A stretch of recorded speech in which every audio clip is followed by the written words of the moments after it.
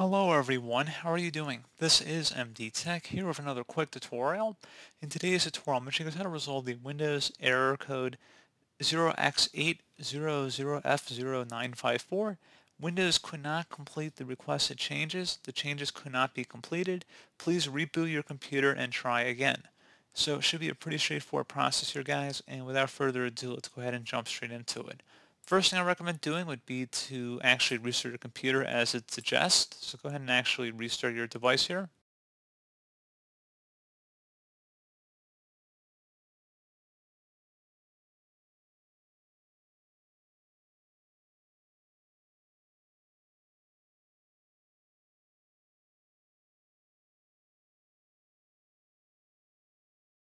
And then hopefully that should have been able to resolve the problem for you guys. It should have been a pretty straightforward solution. Now, if you are still having a problem, you can attempt to open up the search menu, type in regedit, R-E-G-E-D-I-T, best match should come back with registry editor. Go ahead and right click on that and select run as administrator. If you receive a user account control prompt, select yes. And now, before you proceed in the registry, I would highly suggest you create a backup of it. So if anything were to go wrong, you could easily restore it back. In order to create a backup, it's not too difficult. All you have to do is select File and Export.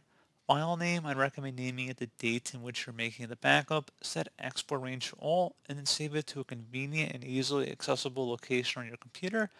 And if you ever need to import back in from the backup, all you have to do is select File and then Import and navigate to the file location on your computer. So again, pretty straightforward process. And now we're ready to begin. So we're going to start by double clicking on the HK local machine folder.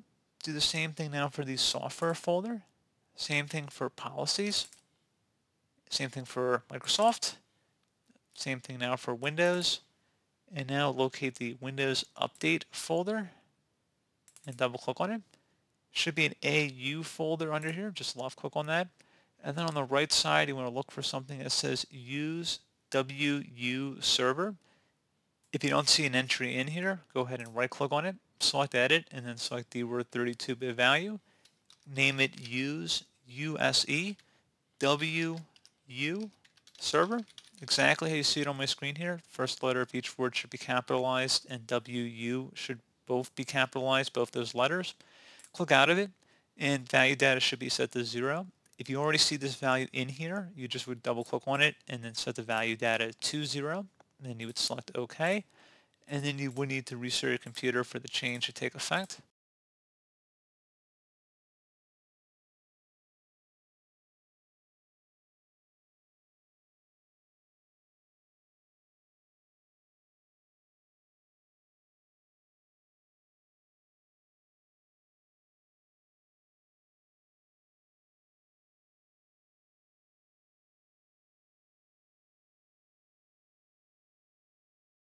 And then hopefully at this point your issues should have been resolved. So as always, thank you guys for watching this brief tutorial. I do hope I was able to help you out, and I do look forward to catching you all in the next tutorial. Goodbye.